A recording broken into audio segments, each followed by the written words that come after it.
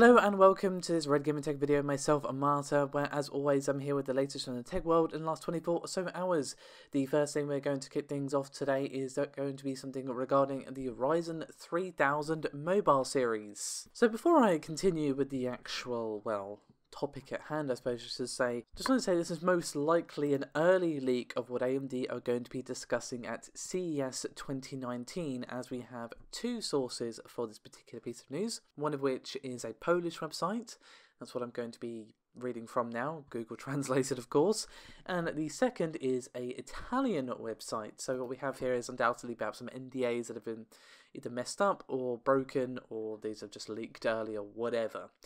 Regardless, what we actually have today is a series of Ryzen mobile processors, which of course have a built-in Vega graphics chip.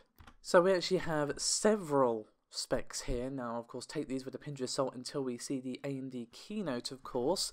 But here we have the Ryzen 7 375H, Ryzen 7 3700U, the Ryzen 5 3550H, the Ryzen 5 3500U, the Ryzen 3 3300U, the 3200U, and the Athlon 300U. But what about the actual specs, I hear you ask? Well, for the 3750H, we see 4 cores, 8 threads, 2.3 GHz base with a 4 GHz boost, a 2 plus 4 cache, so 2 L2 cache and 4 megs of L3 cache, we see up to 1400 megahertz on a TDP of 35 watts.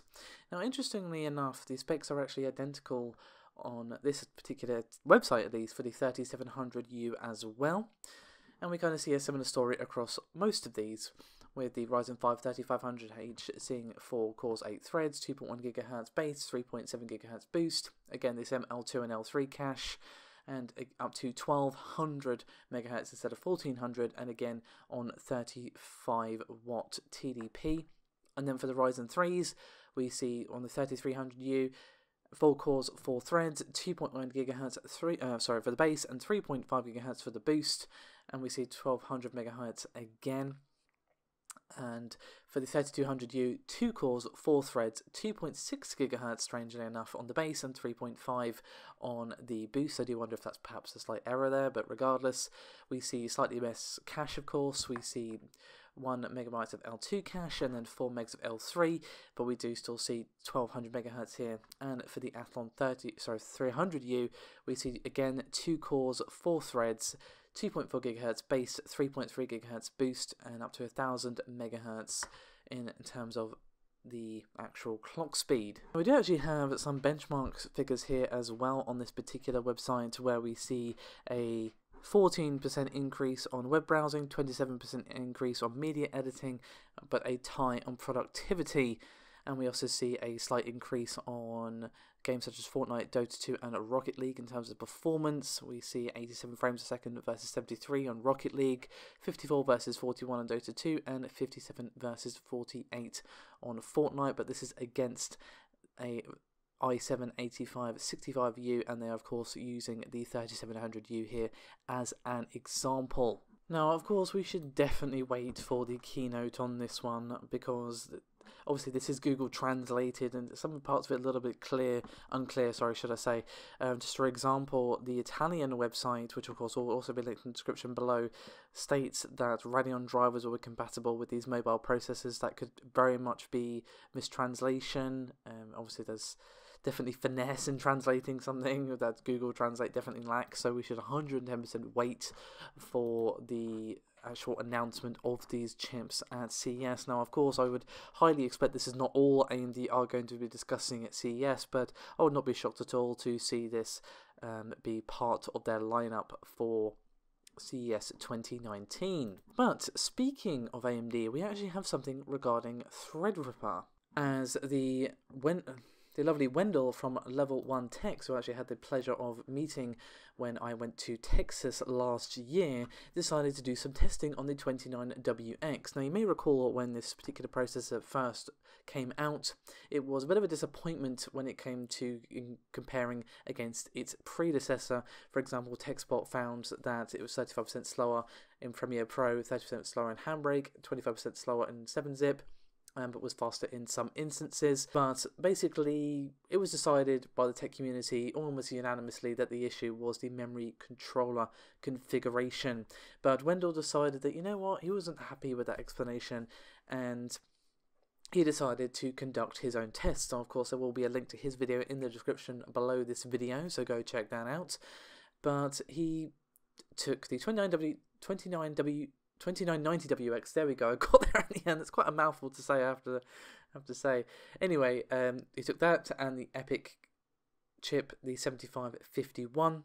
And apparently, a number of these problems were actually caused by Windows rather than these memory configuration issues. Now, the reason he thought to do this was because the 29WX gets good performance in Linux but not in Windows. So it does seem to be a software problem rather than a hardware problem. So EPYC has four memory controllers, which is why it was chosen for this particular battery of tests. And which you know, if the issue was the memory controllers, like I've already said, that we wouldn't see the same results being duplicated here.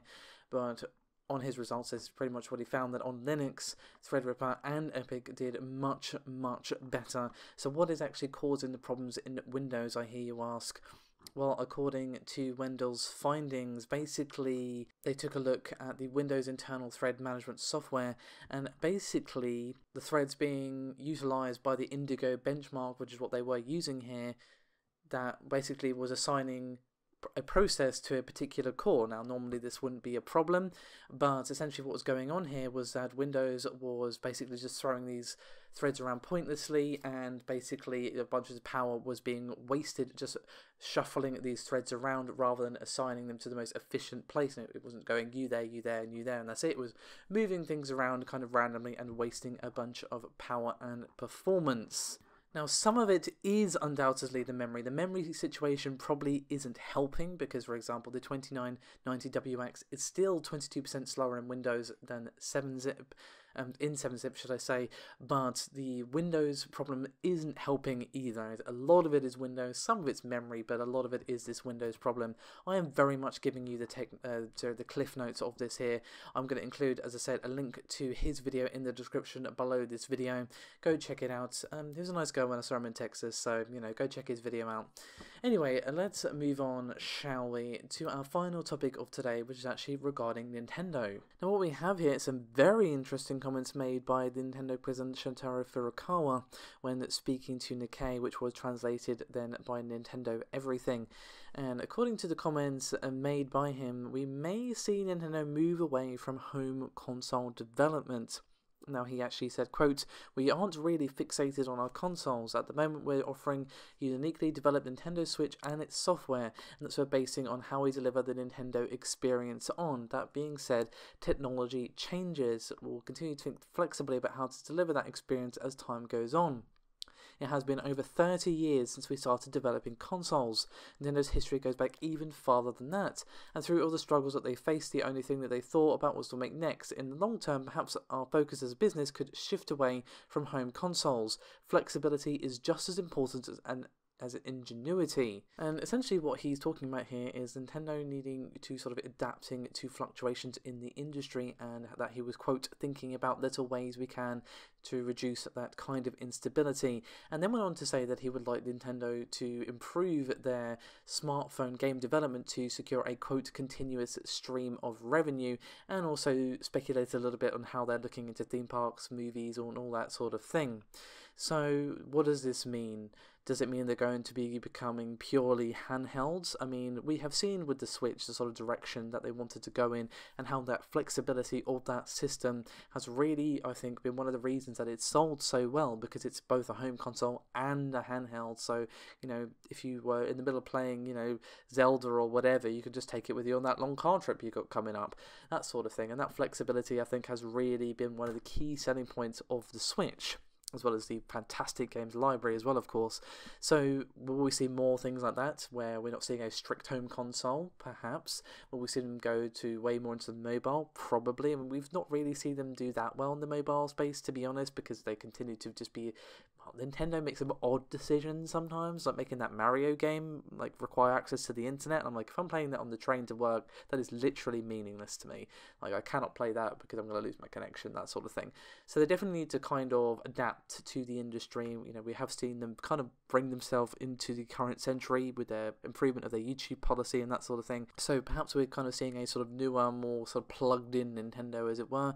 So we could see them move more into smartphones. We could see them go to a pure handheld thing, or we could just see them becoming a software developer only. I don't see them doing that, but it's entirely possible that they'll just um, license out their software to other companies. I don't predict that happening, but it is definitely possible. But what I think we're going to be seeing is either them go sort of full handheld route or make flexible things like the Switch, because that seems to be the key of what he's saying here.